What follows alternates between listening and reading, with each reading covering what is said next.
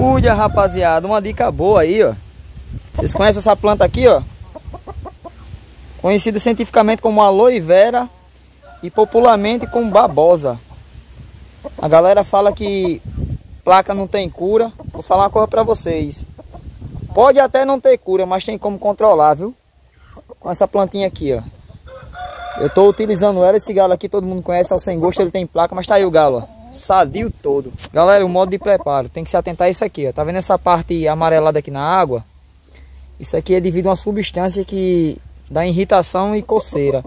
A gente tem que cortar a babosa e deixar no mínimo 40 minutos na água assim, que é para sair essa parte. E o que nós vamos usar é só a polpa, tá aqui a polpa. Já cortei, totalmente livre de casca. Eu vou mostrar para vocês como é que a gente vai dar o animal. Só pegar um pedacinho desse, um cubinho desse, ó.